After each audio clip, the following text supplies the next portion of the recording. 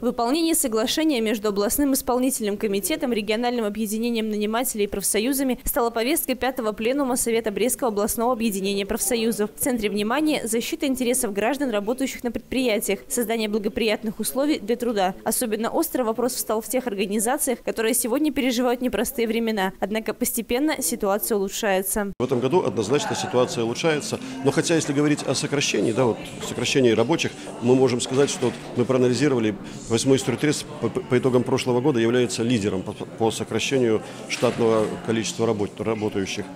Они сократили более 500 человек, более 500 человек, даже более 600 человек. Это, я посмотрел, 21% от всех работающих.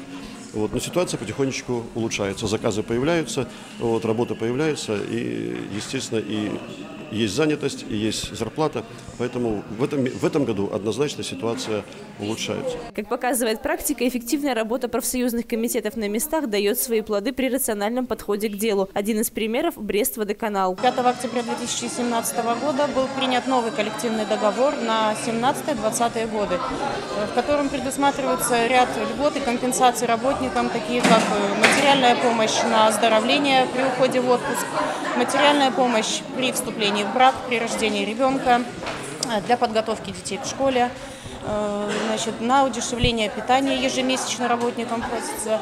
Э, более того, для работников, которые привлекаются к аварийно-восстановительным работам в неурочное время, идет обеспечение горячего питания за счет средств предприятия. Еще один немаловажный аспект деятельности профсоюзов, стоящий на повестке дня – проверка соблюдения нанимателями норм охраны труда на предприятиях. Сегодня за этим бдительно следят общественные инспекторы. По результатам деятельности лучше были удостоены памятных подарков. Наша функция скорее не наказывать, а указать на некоторые недостатки, недочеты, обращать внимание руководства по обеспечению средствами индивидуальной защиты, где-то улучшением условий для работников. Ежегодно мы проводим областной смотр-конкурс по осуществлению общественного контроля за соблюдением законодательства об охране труда среди профсоюзных комитетов, общественной комиссии по охране труда и общественных инспекторов по охране труда. Такие же конкурсы организованы э, ежегодно и в отраслевых профсоюзах, и республиканских комитетов,